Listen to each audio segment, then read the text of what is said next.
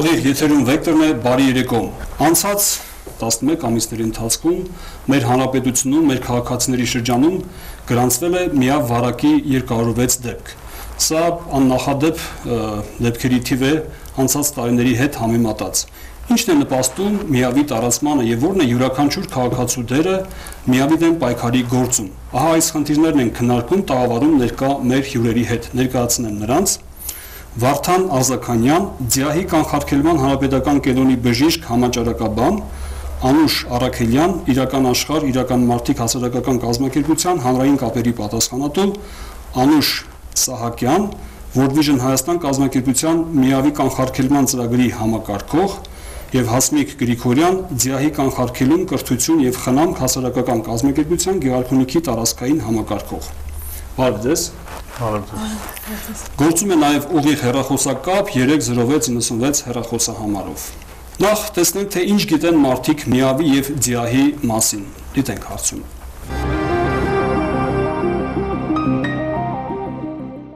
Գիտեմ, որ դա մեծամասամբ փոխանցվում է սեռական հարաբերությունների միջոցով սկզբնական շրջանում, եթե շուտ բժշկին դիմեն, դա բուժվող հիվանդություն է։ Դա մեծամասամբ երիտասարդության մոտ է։ Ցոփ կյանքն է երևի։ Գիտեմ, որ ունի փոխանցման 4 ճանապարհ, ուրեմն սեռական, հոմոսեքսուալ, թմրամոլների միջոցով եւ այրան միջոցով է փոխանցվում։ Շատ ակտուալ է, որտեղ մեր բնակության մեծ մասը արտագնա աշխատանքի աշխատանքով է զբաղվում, վտանգը մեծ է, որ դրսից կթափանցի մեր երկիր։ Ուղղակի երիտասարդությունը շատ զգուշ պիտի լինի, ուղղակի պիտի կրթված լինի, այդ առումով գրագիտություն պիտի ունենա պաշտպանվելու համար։ Հիմնականում փոխանցվում է սեռական ճանապարհով։ Դե կարելի ասել, որ շատ տարածված է հիմա։ Մեր տարածաշրջանում ընդունված չի խոսել դրա մասին, մարդիկ կաշկանված են հիմնականում։ Եթե ինչ որ մեկն էլ գրում է այդ հիվանդությունը դա արդեն գաղտնիք է, ոչ մեկ չի իմանում այդ մասին, արդեն վտանգավորվածության աստիճանը ավելի մեծ է։ Հիվանդությունը, որը լայն մի մեծ տարածում ունի մեր ընդհանրապես Հայաստանում նո պետք է լուրջ պայքարել այդ հիվանդության դեմ, չգիտեմ։ Իսկ գիտեք, որ ինչ ուներով ավանդացվում։ Նո սեռական ճանապարհով երևի մենի չգիտեմ, ինչ ճանապարհով է։ Դե ինձ հետ է, ես այդ արծ տվի, ինչ է, ես չեմ իմանում էլ։ սա պետք է զբաղվեն տանը, որպեսզի բան չլինի, չվարակվեն։ Բայց դե ասենք պետք է իրանց անվտանգության մասին մտածեն։ Գիտեմ, որ հիվանդությունը արդեն շատ տարածված է բոլոր երկրներում էլ։ Հանդերձ այս վերջ տարիներում Հայաստանում Դե հիմա երիտասարդությունը պիտի շատ մտածի այդ մասին, դե որ շատ տարածված է, յուրաքանչյուր անձ պիտի դիմի բժշկի, արդեն որ զգում է ինչ-որ բան այն չի։ Իսկ ինչ է կարծում, փոխանցումը ինչպես է գիտեք եղան։ Դե արդեն արյան միջոցով եւ սեռական հարաբերությունների միջոցով։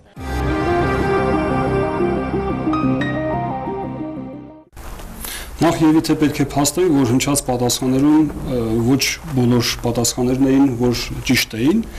բայց դրանց ավելի մանրամասն մեր հարցադրումներով կանադառնանք, նախ հասկանանք, թե ինչ է միավը եւ ինչ է ձիահը եւ որն է սրանց տարբերությունը, այս եզրույթները, այս տերմինները հասկանանք։ Խնդրեմ։ Այո, ինչպես տեսանյութերը ցույց տվեցին, որոշները ինչ որ մի բան գիտեին, բայց հիմնականում գիտելիքները թերի էին, միավ ձիա ինչ է միավ? Միավ եթե հապաղումը բացենք դա մարդու իմնային անբարության վիրուս է որը ներթափանցելով մարդու օրգանիզմ զարգացնում է միավ վարակ հիվանդություն որը ինքը երկարատև ընթացքով քրոնիկ վարակային հիվանդություն է եւ միջին նրա անախտանիշ տևողությունը կարող է տևել մինչև 8-ից 10 տարի այսինքն մարդ ապրի 8 տարի կամ 10 տարի եւ ոչ մի կլինիկորեն խնդիր չունենա ինքը ունի իր ստադիաները եւ ձիահը ձեռք բերողի իմունային ամրության համախտանիշ դա արդեն միավարակ հիվանդության վերջի փուլն է այսինքն պետք չի կարծել որ միավը եւ ձիահը դրանք տարբեր բաներ են ուղղակի ձիահը դա միավարակ հիվանդության վերջի փուլն է երբ որ մարդու մոտ իմունային համակարգը արդեն բավականին ընկճված է լինում եւ նրա մոտ սկսում են զարգանալ տարբեր հիվանդություններ, այսպես կոչված օպորտունիստական վարակներ, որոնք բնորոշ են իմունային անվարությամբ իրավիճակների։ Հետաքրքիր է, ինչ գիտեն մեր աշակերտները դպրոցներում այս թեմայով խոսվում է։ Իհարկե դպրոցներում խոսվում է, ասեմ, որ արդեն երկրորդ, երրորդ տարին է այս տարի, որ դպրոցում 8 եւ 9-րդ դասարաններում անցնում են առողջ ապրելակերպ դասընթաց 14 դասաժամ տևողությամբ եւ այնտեղ քննարկվում է միավդիա եւ ընդհանրապես վիրուսակիր վիրուսների մասին, հիվանդությունների մասին, միավդիայի մասին եւս ասվում է։ Եվ այդ տարիքային խմբի համար տրվում է որոշակի գիտելիքներ։ Իսկ հասարակական կազմակերպությունները ինչ են անում, որպեսզի մարդկանց իրազեկվածությունը բարձրանա այս թեմաների հետ կապված։ Ես կասեմ World Vision-ի փորձը, World Vision-ը արդեն 10 տարի է, ինչ իրականացնում է գործողություններ միավի կանխարգելման ոլորտում։ Թիրախային խմբերը դա դեռահասներն են, երիտասարդները,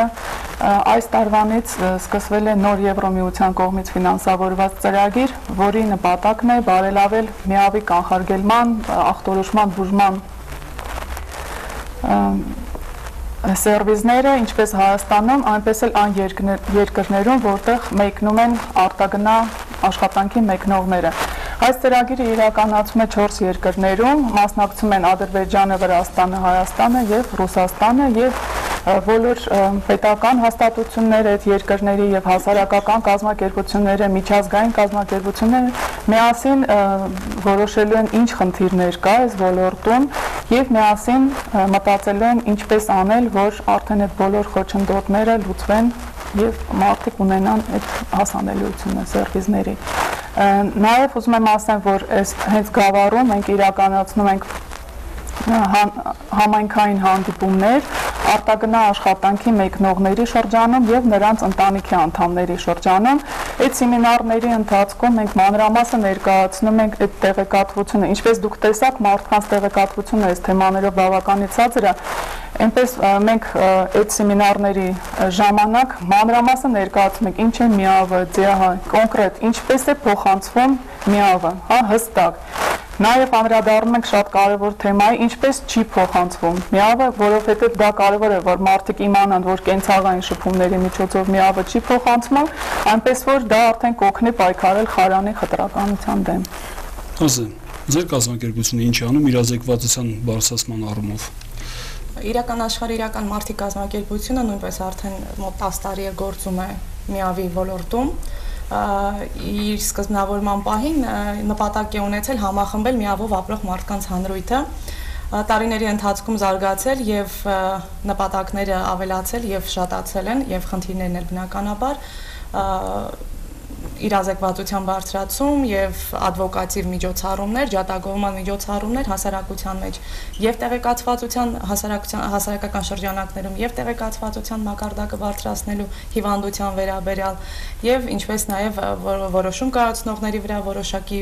ազդեցություն թողնելու համար եւ բնականաբար միավով ապրող մարդկանց նկատմամբ խարանի խտրականության նվազեցման ուղղությամբ Պարոն Արզականյան, մենք միավի մասին խոսելով հաճախ նաև Նրա կողքին դնում ենք համաճարակ տերմինը։ Արդյոք այն հասել է համաճարակի աստիճանը։ Ինչպիսի վիճակագրություն կա աշխարհում, Հայաստանում։ Այո, ինքը համաճարակ է եւ ես դες ասեմ, որ աշխարհում նման երկիր չկա, որ արդեն բախված չլինի միավարակի խնդրի հետ եւ ներկայումս ամբողջ աշխարհում միավարակով ապրում են մինչեւ 34 միլիոն մարդ Եվ եթե դիտարկենք 1 տարվա ընթացքում նոր դեպքերի կողմից, ապա 1 տարվա ընթացքում 2.5 միլիոն մարդ վարակվել է միավարակով ամբողջ աշխարհի կտրվածքով, եթե վերցնենք,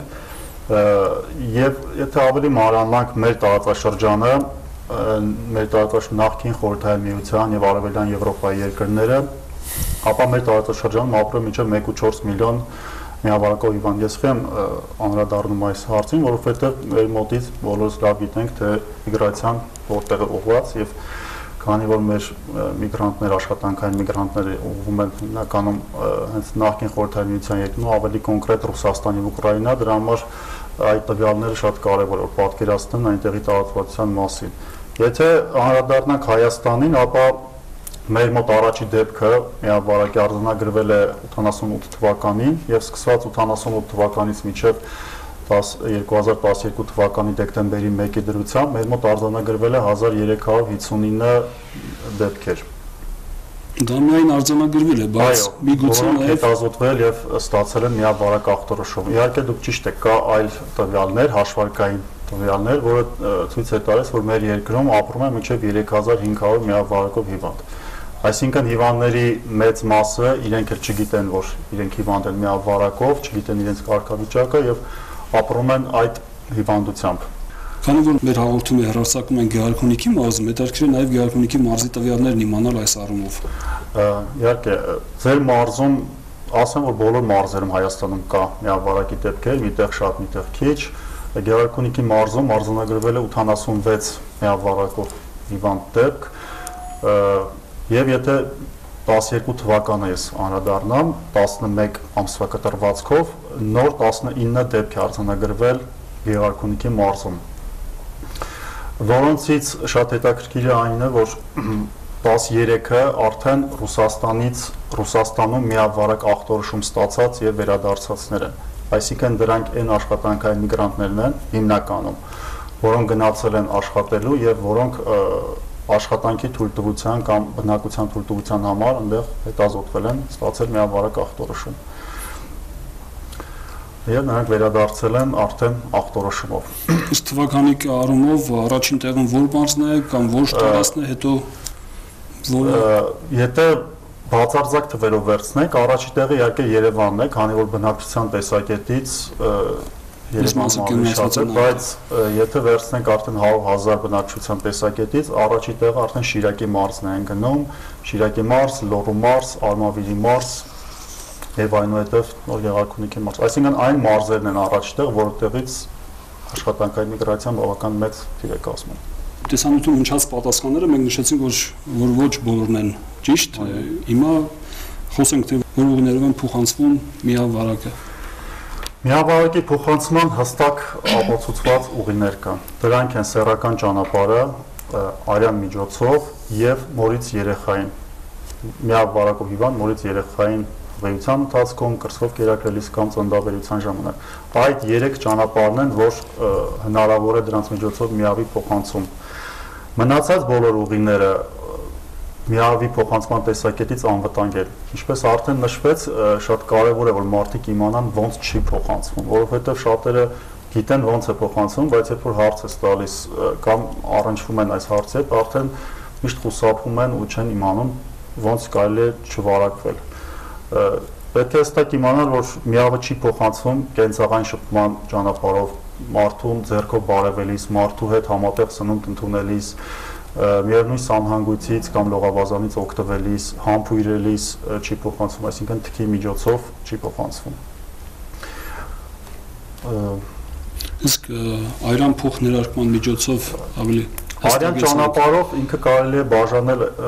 հարաբերականորեն երկու մասի, մեկը թմրամիջոցների ներարկային օգտագործողների շրջանում, երբ որ նրանք համատեղ ներարկիչ կամ ասեղ կամ թմրամիջոց օգտագործման պարագաներ են օգտագործում, համատեղում են, հիմնականում հենց այդ ճանապարհն է գործում։ Երկրորդը դա երբ օգտագործվում են չախտազերծված բժշկական պարագաներ կամ չստուգված եւ միավարակով հիվանդ դոնորական արյուն, այսինքն բուժ հաստատությունների փոխանցման ճանապարհը։ Սակայն դոնորական արյան փոխանցման տեսակետից մեր մոտ 2001 թվականից մինչև այսօր չի արձանագրվել մեկ դեպք, որովհետև եւ դոնորական արյունը եւ ցանկացած դոնորական օրգան ինքը հետազոտվում է միավի միավարակի նկատմամբ։ Դրա համար այդ տեսակետից այսօր կարելի ասել որ բացառում է Հայաստանում այրանդուն։ Ընդհանրապես աշխարհի ոչ մի երկրում հնարավոր չէ 100% բացառել ինչ որ մի բան, որովհետև գոյություն ունի պատուանի շրջան հասկացողություն, երբ որ մարդ վարակված է եւ հետազոտությունները դեռևս ցույց չեն տալիս այդ եւ դոնորական այրուն է տալիս, այո, կարող է հնարավոր է, որովհետեւ նույնիսկ Միացյալ Նահանգներում կամ զարգացած երկրներում ոչ մեկ չի կարող 100% ապահովել դոնորական այրունը։ Միշտ ռիսկ կա, դրա համար դոնորական այրուն սովորաբար փոխ ներարկում են կյանքի ցուցումներից ելնելով։ Ով որ խմբերն են, որ ավելի ռիսկային վարկագիծ են դրսևորում միավի տարածման առումով։ Երևելի բժշկին լսենք։ Ես կասեմ, եթե ինչ-որ ավելացնելու ունենամ, Նախկինում եթե օգտագործվում էր ռիսկային խմբեր հասկացողություն, հիմա դա այդքան էլ այդպես չի, հիմա մի փոքր փոխված է։ Հիմա միավարակի փոխանցման տեսակետից առավել ռիսկային վարկագիր դրսևորող խմբեր են ասվում ճիշտ է, կլասիկ խմբեր էլի մնացել են, այսինքն թմրամիջոց ներակային օգտագործողներ, կոմերցիոն սեռական ծառայություն տրամադրող կանայք եւ տղամարդկանց հետ սեռական հարաբերություն ունեցող տղամարդիկ, որովհետեւ նրանք իրենց վարկագծով առավել ռիսկային են։ Առավել ռիսկային են նաեւ սեռական ծառայություն տրամադրող կանանց հետ հաճախորդները, հաճախորդները, սակայն մեր վերջին տվյալները, մեր վերջին նոր դեպքերը ցույց են տալիս, որ ընդամենը նոր դեպքերի 30%-ն են միավարակով արձանագրված նոր դեպքերի ինչ որ չափով առնչվում այս վերենշված խմբերի հետ։ Այսինքն մնացած 70%-ը որևէ ձևով չեն առնչվում այս կլասիկ խմբերի հետ։ Այսինքն դա ինչ է նշանակում, որ ցանկացած մարդ, եթե նա դրսևորել է ռիսկային վարկագիծ, ինքը կարող է վարակվել միավարակով ներկայումս ցանկացած մարդ, ով ունեցել է սեռական հարաբերություն անհայտ միավի կարգավիճակով անձի հետ առանց պահպանակի ինքը արդեն ռիսկային ռիսկի է ռիսկային խմբում է կամ ցանկացած մարդ ով ունեցել է թմրամիջոցների մեկ անգամյա օգտագործում անհայտ կարգավիճակով մարդու հետ էլի ռիսկային է Երևի թե ռիսկային խմբի մեջ կարելի է ընդգրկել դեռահասներին, այսինքն այն երիտասարդներին, որոնք ապագայում որևէ սոցիալական խմբի մեջ կլինեն։ Այս գործընթացի դեմ, որpիսի նրանք չլինեն ռիսկային խմբի մեջ, ինչ է կատարվում եւ ինչ կարող է կատարել կրթական համակարգը։ Ասեմ, որ 2003 թվականից մեր տարածաշրջանում Գեղարքունիքի մարզում գործում է ԱՊԵԿ հասարակական կազմակերպությունը, այսինքն ԴԻԱ-ի կանխարգելում կրթություն եւ խնամք հասարակական կազմակերպությունը,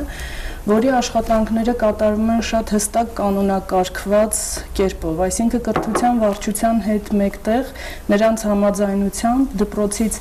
ընտրվում են լիդեր թերթիկների միջոցով աշակերտներ, որոնք մասնակցում են սեմինար պարապմունքների, որտեղ ընդհանուր գիտելիքը դարձյալ վերաբերվում է միավդիայի դեմ կանխարգելման գործընթացին եւ շեշտադրվում է պատասխանատու դեռահասի պատասխանատու վարկագծի կատարումը, այսինքն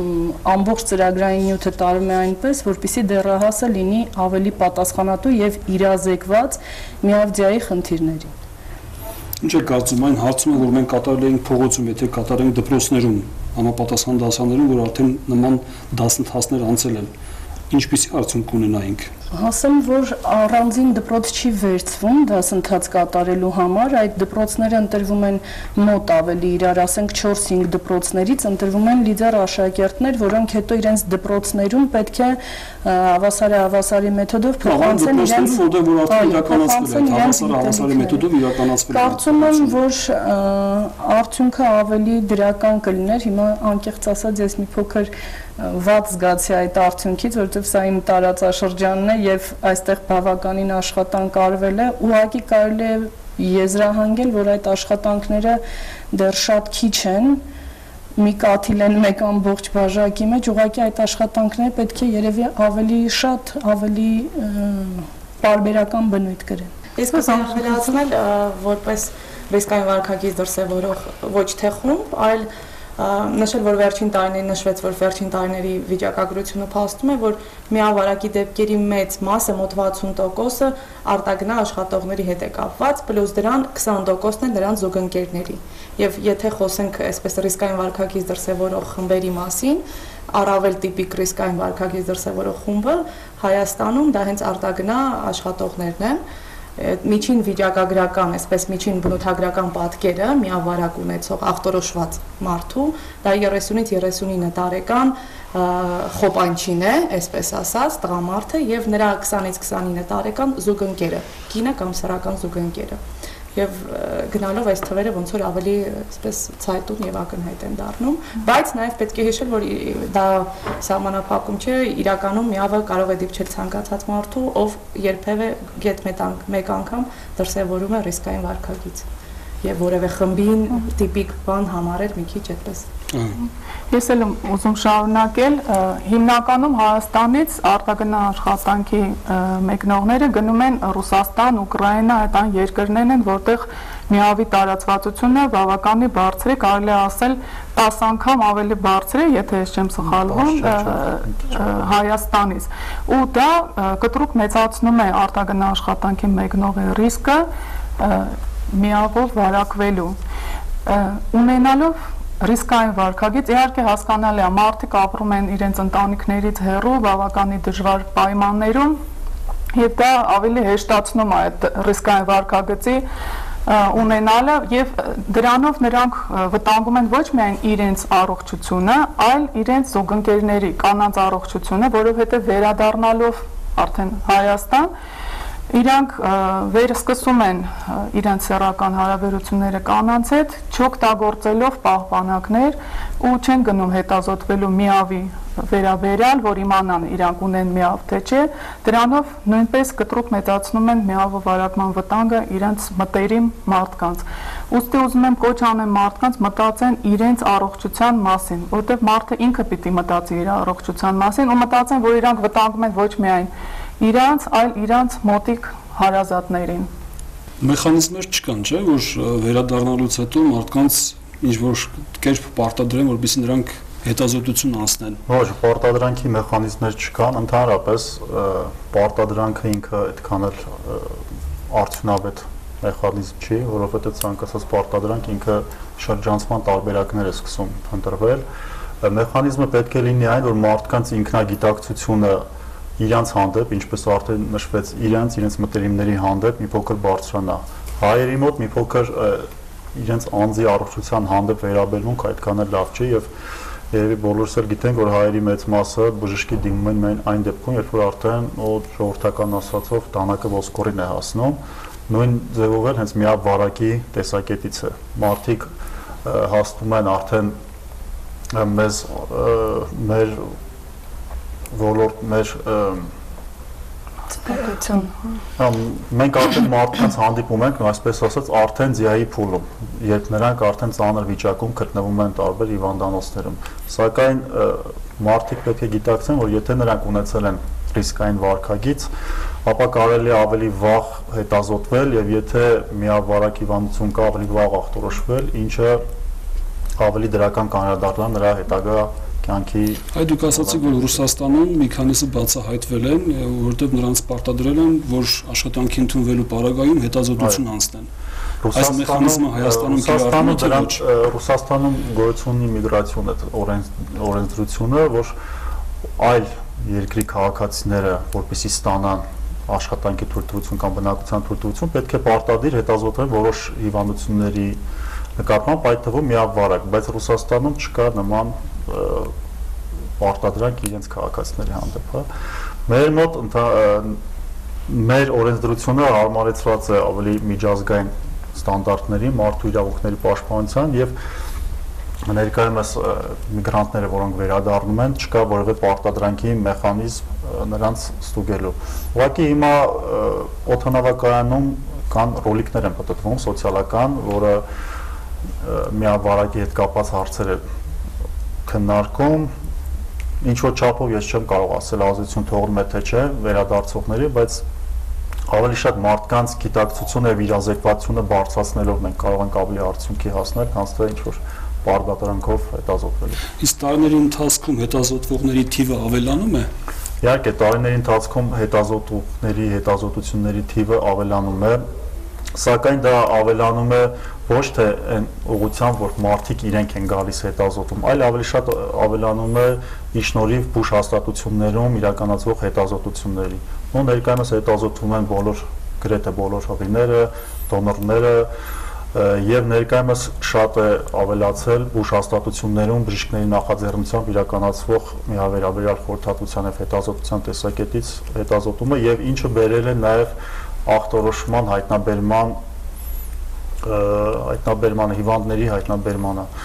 Հա դուք նշեցիք այս տարի ամենաշատ թիվն էր 206 11 ամիսների ընթացքում, ու դեռ 1 ամիս էլ կա, բայց դա այն չէ պատճառը, որ հիվանդությունն է ավելանում, այլ պատճառը ավելի շատ նրանում է կայանում, որ հայտնաբերումն է ավելանում հետազոտությունների քանակի։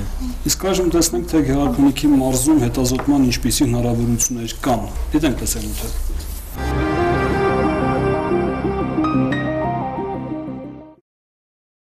2004 թվականից գլոբալ հիմնադրամի միջոցներով Գավառում հիմնադրվել է Միավի ախտորոշման բաժինը։ Այն տեղակայված է Գավառի բժշկական կենտրոնի կլինիկոդիագնոստիկ լաբորատորիայում։ Միավի ախտորոշման բաժինը համարվում է մարզային նշանակության։ Այստեղ կարող են հետազոտվել ինչպես Գեղարքունիքի, այնպես էլ Հայաստանի Հանրապետության այլ մարզերի բնակիչներ։ 2012 թվականի ընթացքում բաժնում հետազոտվել են շուրջ 2000 անձինք, որոնց մոտ միավ չի հայտնաբերվել։ Եթե մենք ունենում ենք դրական հետազոտություններ, երկրորդ եւ երրորդ անգամ մեր լաբորատորիայում նորից ստանում ենք դրական արդյունք, վերջնական արդյունքը հիվանդին ներկայացնելու համար ուղարկում ենք Միավի կանխարգելման հանրապետական կենտրոն, որտեղ վերջնական ճշգրտումը կատարվում է հետազոտության եւ արդյունքը վերադարձվում է հիվանդ հասցեատիրոջը։ Գավառի բժշկական կենտրոնի լաբորատորիայի վարիչ Նարինե Խաչիկյանի տեղեկացմամբ Միավի ախտորոշման բաժնում տարեկան գրանցվում են 2000-ից 2500 հետազոտվողներ, ներառյալ հղիները։ Իդեպ հղիներին նախածննդյան շրջանում միավի ախտորոշումը պարտադրված չէ։ Կանանց կոնսուլտացիաներում տարվում են խորհրդատվություններ գինեկոլոգների եւ հղիների միջև եւ մեր խորհրդատվության արդյունքում գրեթե բոլոր հղիներն էլ ցանկություն հայտնում են անցնել այդ հետազոտությունը։ Վախենալով խարանակիր լինելուց բնակչությունը այսօր խուսափում է միավի ախտորոշումից, սակայն Նարինե Խաչիկյանը գտնում է, որ այդպիսով խորանում է հիվանդությունը եւ վտանգավոր դառնում նաեւ ուրիշների համար։ Տեղեկացնենք, որ միավի վերաբերյալ հետազոտությունը անվճար է, իսկ արդյունքների գաղտնիությունը երաշխավորված։ Եթե Իվանդը չի ցանկանում ներկայանա ինքը ով է, փաստաթղթային ոչ մի տեղեկանք չի ներկայացում, չնայած մենք չենք էլ պարտադրում, կարող է կոդավորված ներկայանալ Հիվանդը եւ Հիվանդի հետազոտության արդյունքը լիովին մնում է գախտնի, բացարձակ ոչ ոք ոչինչ չի իմանալու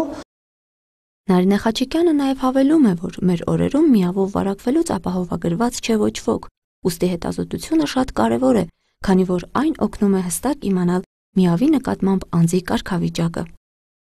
Ալվարդ Մանուկյան, Սարգիս Ալավերդյան, Վեկտոր։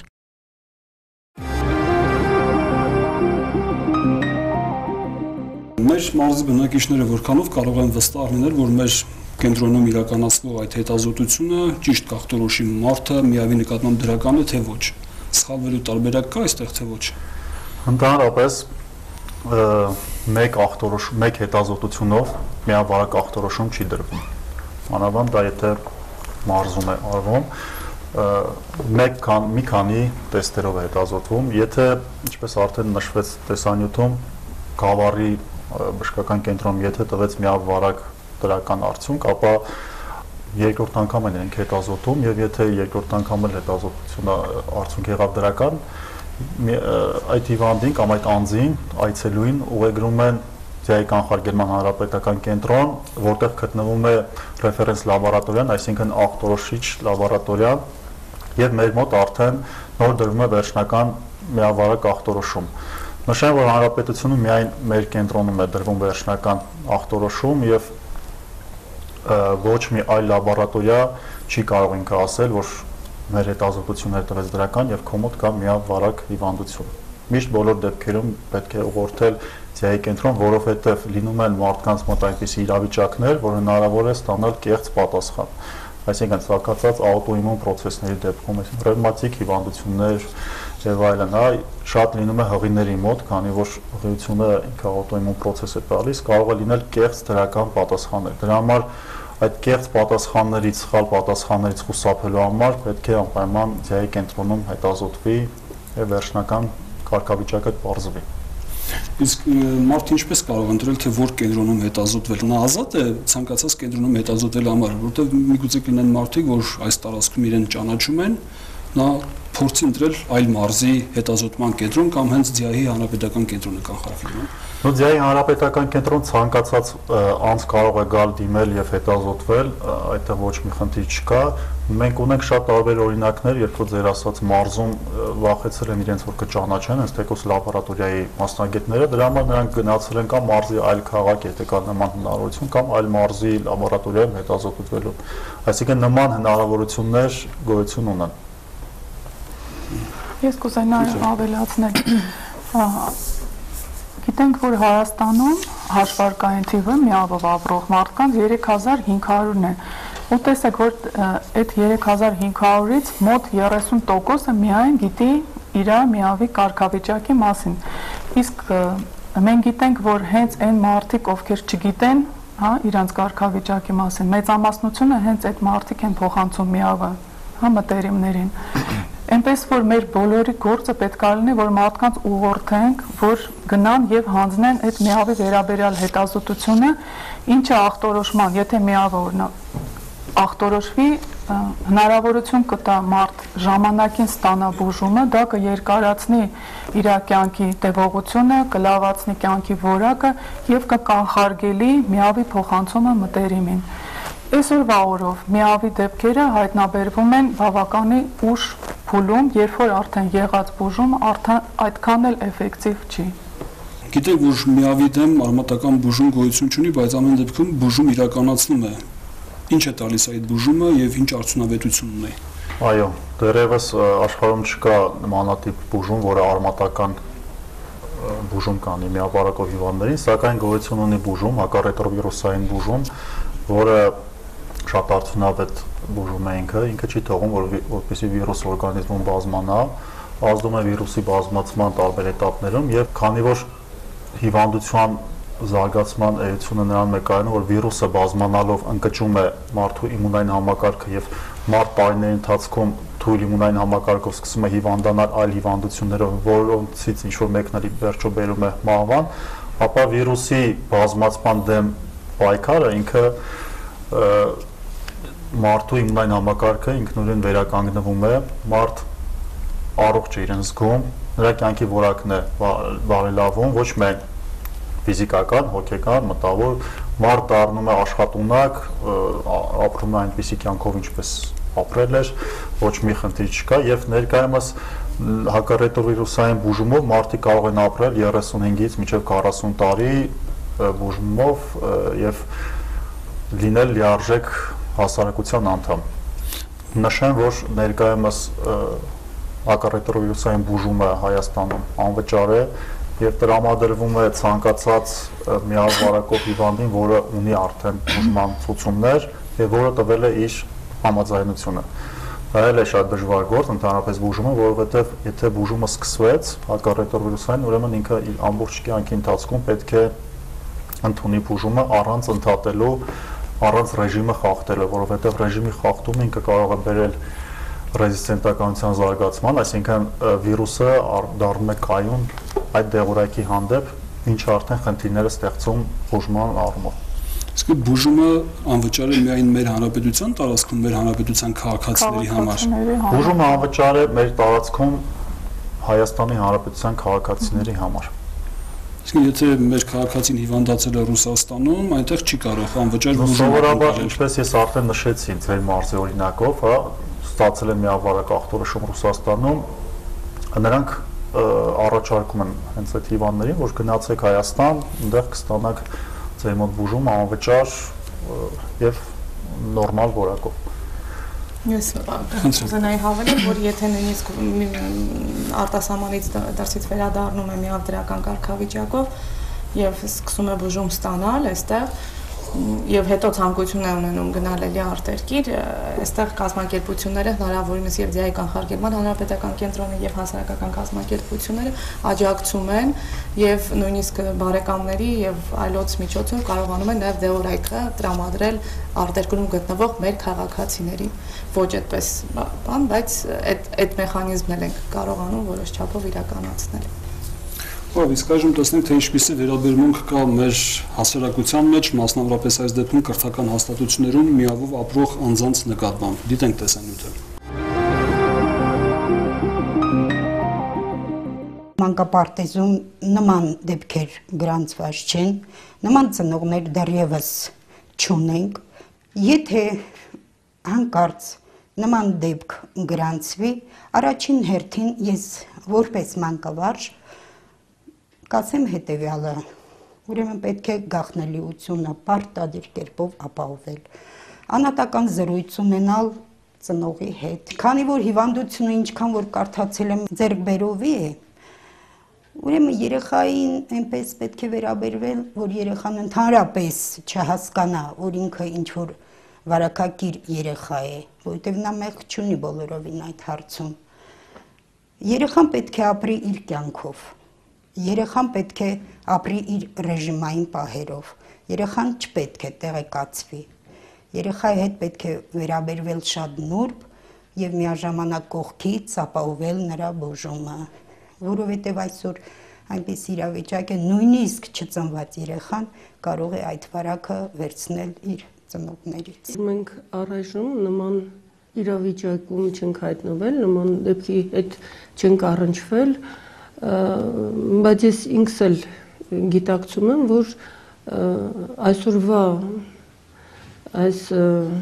վիճակագրության, վիճակագրական տվյալներից ելնելով հնարավոր են նաև նման դեպքեր, եթե հանկարծ Աստված չանի, որ առնչվենք, մենք պարզապես պետք է դիտենք այդ երևույթին որպես հիվանդություն։ Պատճառները པարզ են, քանի որ դրա վարակի տարածման հիմնական ճանապարհը սեռական ճանապարհն է, դա բնականաբար ամոթ է առաջացնում մարդկանց մոտ եւ վախ, անհանգստություն եւ անչափահասները չեն բացվում, չեն կիսվում իրենց ծնողների ու ուսուցիչների հետ եւ հենց դրանով էլ նրանք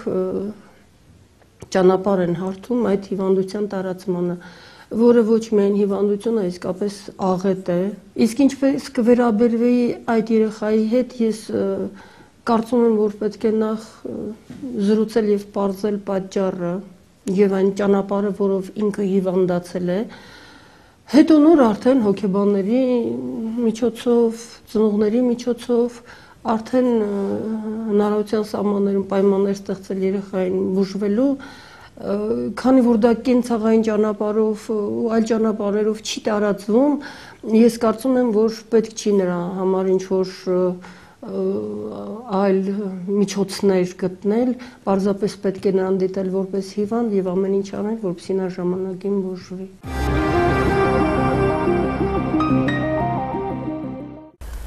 Մեր հասարակության մեջ միշտ է որ հանդուրժողական վերաբերմունք կա միավով ապրողների նկատմամբ։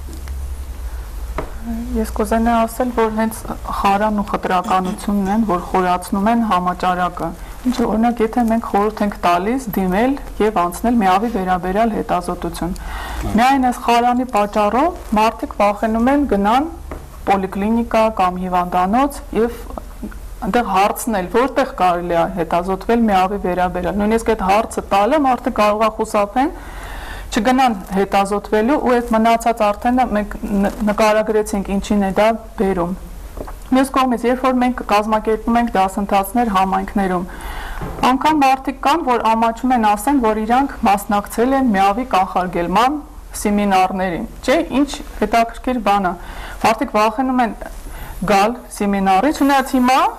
անշիկն էլ կասի, որ վիճակը բավականի բարելավել է, ավելի լավ են գալիս հաճախում, ավելի ազատ են հարցեր տալիս եւ իրենց պատասխանները ստանում։ Հա, անշուշտ խարանը խտրականությունը կա հասարակությունում եւ առաջին հերթին երևի այն պատճառով, որ դա միավարակը փակ թեմա է, սեռական կյանքի եւ մահվան հետ ասոցիացվող թեմա է, դրա համար այդ վախը ավելի այսպես բան է բայց տարիների փորձը ցույց է տալիս, որ եթե նախկինում ամեն ինչ կախված է, թե ինչպես կկրթես, ինչպես կմատուցես, եթե նախկինում իրոք մարդիկ շատ ավելի դժվարությամբ էին այդ թեմաներին վերաբերվում, լսում, հարցեր տալիս, հիմա ավելի ինտերակտիվ են դարձել այս վերջերս հենց մի քանի օր առաջ գավառում գավառի գյուղերից երկուսում էինք տրեյնինգներ էինք անցկացնում եւ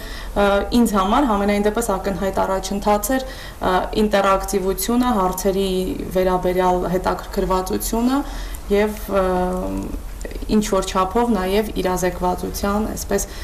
բաց լինելը իրազեկվելուն, որը շատ ողջունելի է եւ Ազատ Կարծում եմ, որ այս պարագայում խարանի ու խտրականություն հիմքում ընկած է գիտելիքի պակասը, եթե հասարակությունը տեղեկացված լինի միավի անցման ուղիների նկատմամբ այդ մտավախությունները, որոնք առաջացնում են խարան եւ խտրականություն, ինքնստինքյան կնահանջեն։ Եվ տվյալ թեմայի շուրջ քննարկումները, հաճախ տարվող սեմինարները ավելի գիտակցությունը կբարձրացնեն հասարակության ավելացնել, որ մեզանից ոչ մեկը ապահովագրված չի, որ միավ չի ունենա կամ մեր մտերիմները։ Էնպես որ չկա մենք եւ նրանք, հա։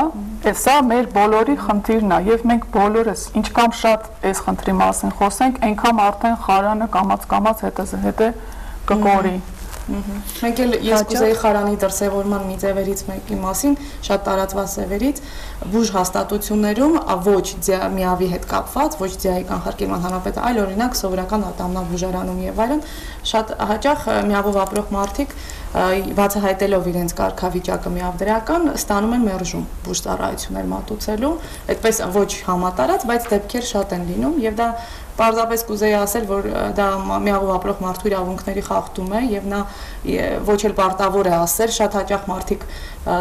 պարտավորված լինելով այսպես ասում են բժշկին, որ ունեն միավարակ, որպիսի բժիշկը ավելի զգույշ լինի եւ բժիշկը պարզապես չի բանանում սпасարկում։ Եվ մեկ այլ անգամ արդեն երբ որ չեն ասում կամ ասում են հեպատիտ ունեն, նոր այսպես ավելի ստանում են ուշ ծառայությունը այս առումով էլ պետքա նաև խարանի խտրականության դեմ փոքրինչ ավելի բուժ հաստատություններում էլ տեղեկացվածության մակարդակը բարձրացվի եւ վերաբերմունքը փոքրինչ Իսկ ինչ է կարծում, ամեն դեպքում բժիշկը պետք է իմանա, որ տվյալ մարդը միավի նկատմամբ դրական է թե ոչ։ Ես մի փոքր ավելի սկզբից կամ, որտեվ ամուշը բուժհաստատությունների հետ խարանի հետ կապված թեմա արծարծեց, ինքը իրականում շատ լուրջ թեմա է, իրականում մենք շատ ենք առնչվել նման հարցերի հետ, երբ որ նոր օրինակ ատամնաբուժարանում դիմում են, մերժում են ստանում, երկրորդ տեղն են գնում, ասում են ես էլի ունեմ մի ավարակ, էլի մերժում են ստանում, երրորդ տեղը գնում են ստիպված, չեն ասում իրենց կարգավիճակի մասին։ Ունենք այլ տարբերակներ, երբ որ բուժհաստատություններում միավարակ է ախտորոշում եւ բուժհաստատության բուժանձնակազմը կամ բուժող բժիշկը ցանկանում են րոպե առաջ ազատվել հիվանդից, այսինքն անկախ դրանից նրա մոտ այլ խնդիր կա թե չկա, եթե միավարակ է, ցանկություն են հայտնում, չգիտեմ, դուրս գրել, ուղարկել իրենց յայ կենտրոն, ինչ որ այլտեղ։ Սակայն դա ասեմ, որ շատ լուրջ էր մի քանի տարի առաջ, ասենք 5 տարի առաջ, երբ որ դեռևս բժիշկների շրջանում գիտելիքը միավի վերաբերյալ շատ ցածր մակարդակի էր կամ որոշները նույնիսկ չգիտեին փոխանցման ուղիները ճիշտ է զարմանալի է, այս ասում եմ բժիշկները, բայց դա փաստ է, որ որոշ բժիշկներ չգիտեին կամ դեռևս հիմա չգիտեն բայց ներկայումս բավականին մեծ փոփոխություն կա հենց բուժ հաստատություններում հիվանդների հանդեպ վերաբերմունքի։ Դա պատճառներից մեկը իհարկե նա է, որ գիտելիքը բուժ աշխատողների շրջանում բավականին մեծացել է, որովհետև մենք արդեն մի քանի տարի մեր կենտրոնի մասնագետների օգնությամբ իրականացում են միավարակ դասընթացներ բուժաշխատողների շրջանում եւ շատ մեծ թվով բուժաշխատողներ արդեն անցել են նման դասընթացներ եւ ամեն մեկ ով դասընթացից հետո անցնում է եթե ինչ-ինչ առիթներով շփվում է միավարակո հիվանդի հետ, արդեն նրա վերաբերմունքը փոխվել է մեկ այլ կողմ, որը բերել է բուժաշխատողների կողմից փոփոխության, դա այն է, որ արդեն նրանցից շատերը շփվել են իրենց գործի բերումով միավարակով հիվանդների հետ եւ շփվելով տեսնելով որ միավարակը ինքը սովորական հիվանդություն է միավարակով մարդը ինքը սովորական մարդ է եւ ոչ մի ձև չի տարբերվում այլ մարդկանցից արդեն նրանք իրենց վերաբերմունքը փոխում են եւ շատերի մոտ գիտելիքի արկայությունն էլ դեռևս հիմք չի որպիսի վերաբերմունքը փոխվի միավարակով հիվանդների որովհետեւ ի սկզբանե միավարակը որ սկսվեց ընդհանրապես իր համաճարակը 80-ականներին Այն ժամանակ միավարակ ախտորոշումը ինքը ասոցացում էր մահվան հետ, որովհետև եթե մարդուն ախտորոշվում էր միավ, ինքը մահանալու էր, քանի որ այն ժամանակ չկար դեռևս բուժում։ Եվ այն ժամանակվանից մարդկանց երիտագիտակցության մեջ մտած է, որ եթե միավ կամ սպիդ, հա, այդ բառը ավելի տես տպավորիչ է, ուրեմն ինքը մահ։ Դրա համար ներկայումս եթե մարդկանց հարցում ենք ասոցիացիան միավարակ երկապսպիդի հետ, շատերը հենց ասոցացում են մահվանել։ Դրա համար նույնիսկ մարդիկ իմանալով փոխանցման ուղիներ ինչ որ չափով անկախ իրենցից նույնիսկ խուսափում են շփվել միավարակույվանների հետ կամ չգիտեմ, այցելել, հետազոտվել ամեն դեպքում բուժիմնարկները կարող են միավի փոխանցման պատճառ դառնալ իրենց տեսականորեն հնարավոր է եթե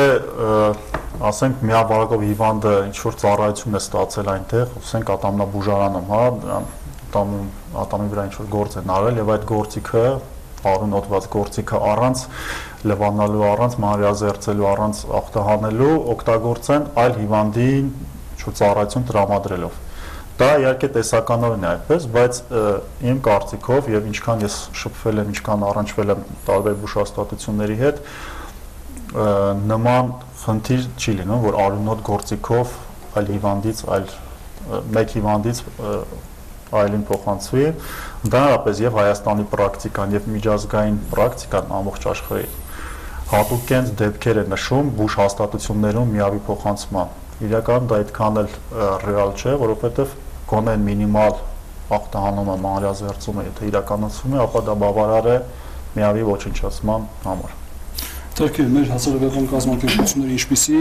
տեղեկատվություն են եղել են դեմքեր երբ դիմեն աշխատանքի ընդունվելու համար այդպիսի մարտիկ եւ բացահայտեն իրենց կարգավիճակը եւ իրենց աշխատանքի չվերցնեն զուտ այդ պատճառով։ Դե այսպեսի օրենք չկա, որ մարդ պետք է աշխատանքի դիմելուց բացահայտի իր կարգավիճակը։ Իսկ նման դեպքեր եղել են թե չէ, ես իմ պրակտիկայում չեմ լսել դրա մասին։ Ես կասեմ, որ մենք աշխատում ենք միավոր ապրող հանրույթի հետ եւ բնականաբար շատ են եղել դեպքեր, ոչ թե դիմելու, այլ մարդը աշխատում է որևէ հաստատությունում, եղել է օրինակ կին, որ աշխատում են բուժ հաստատությունում եւ այլն, որ երբ որ իմացել են, որ միավ դրական կարգավիճակ ունի, խնդրել են ազատվել աշխատանքից եւ այդ կինը չիմանալով իր իրավունքների մասին, որ պետք է ինքը չ պարտավոր չի եւ ընդհանրապես հանգիստ կարող է շարունակել իր աշխատանքը գրել է դիմումը դուրս է եկել հետո նոր արդեն երբ որ եկել է ձերական խարգելման կենտրոն հասարակական կազմակերպությունների հետ շփվել է նոր տեղեկացել է իրավունքների մասին եւ այսօր ասում է որ եթե իմանայի երբեք չէի գրի օրինակ դիմումը եւ կպայքարեի իմ իրավունքների համար Միանով ապրող մարդիկ կարող են ընտանիք կազմել Այո։ Իհարկե կարող են ու ես ասեմ ավելին կազմում են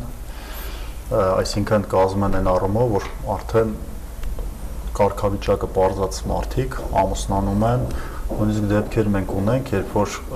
զույգերից մեկը հիվանդ է մյուսը առողջ եւ դրանից հետո միևնույնն է նրանք ամուսնանում են եւ ունենում են առողջ երեխաներ առողջ երեխաներ ունենալու տարբերակ կա Միանշանակ դա հնարավոր է, որովհետև ներկայումս դուք գիտեք, որ հղիների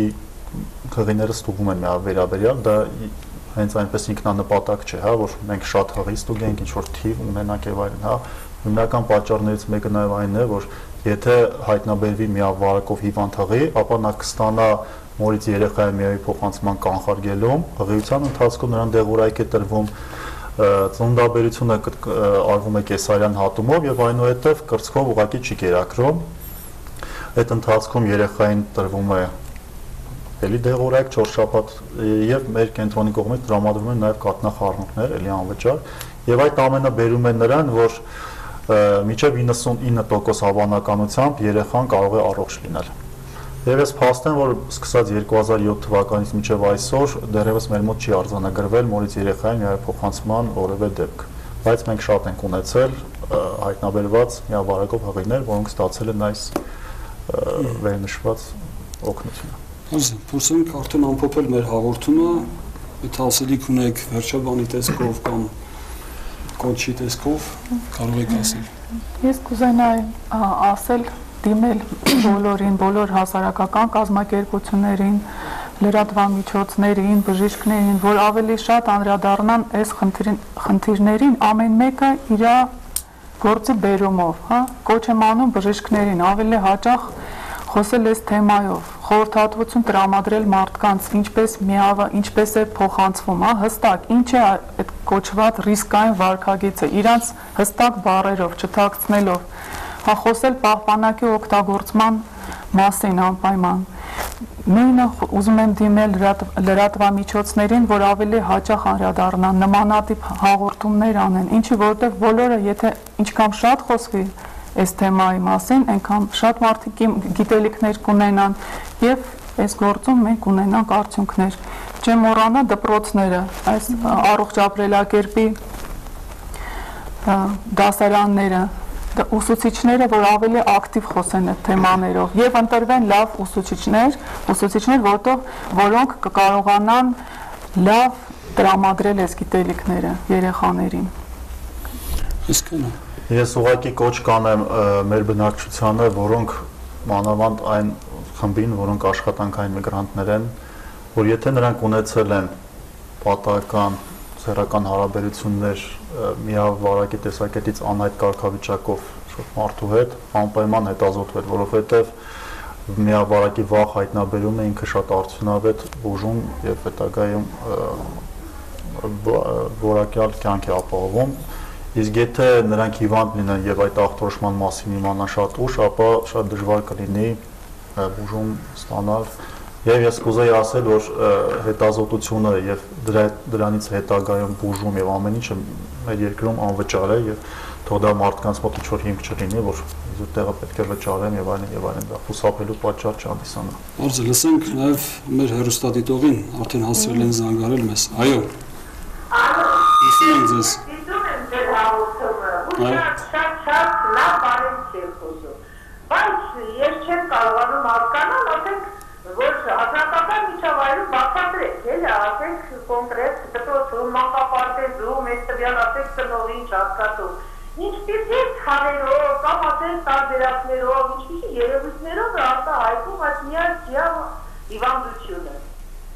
Ախտանիշների մասն է, միգուցե նաև ուզում եմ։ Ախտանիշների մասին ես մի քանի բառով կփորձեմ ասել, ամբողջ հետաքրքրությունը այս հիվանդության նրանում է կայանում, որ մարդ կարող է, ես սկզբից նշեցի, հա, կարող է ապրել մինչև 8-ից 10 տարի եւ չունենալ որևէ ախտանշան։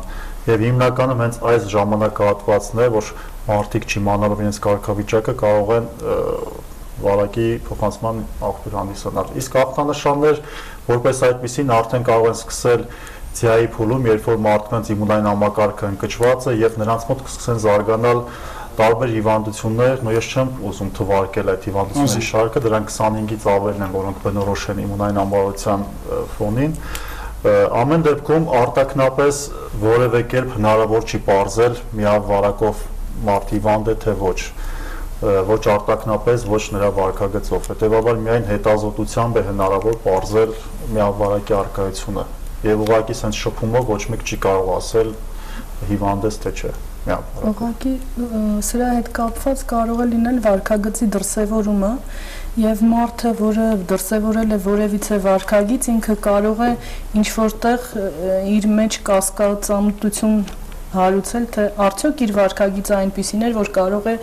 միավի փոխանցման կամ տարածման անձի վարկագծի հստակ գնահատականն է։ Դա կլինի կներեք թմրանյութերի օգտագործում, դա կլինի պատահական սեռական կապեր։ Սա է հիմքում, որ պետք է ուղղորդի դեպի հետազոտություն։ Հերոստատիտողը երևի ավելի շատ փորձում էր հասկանալ, թե ինչպես կարելի է տարբեր տարբերել ոչ մի ես ասեմ կուզեի ասել, որ առողջ արտաքին, առողջ գեղեցիկ հմայիչ արտաքին ունեցող մարդը կարող է ունենալ միավարակ, ապրել միավով երկար տարիներ ավելացնեմ ոչ միայն դու չես կարող տարբերակել դիմացին հիվանդ է թե չէ, այլ դու ինքդ էլ չես կարող զգալ դու ինքդ հիվանդ ես թե չէ։ Հասկանա, շնորհակալություն բարձրաբանումների համար, նաև շնորհակալություն ձեզ, որ Երևանից ժամանակ գտաք եւ մասնակցում եք այսօրվա մեր քննարկմանը, վեկտորի քննարկման առանցքում միավներ եւ ձիահը։ Կհանդիպենք հաջորդ 4 շաբթից տեսություն։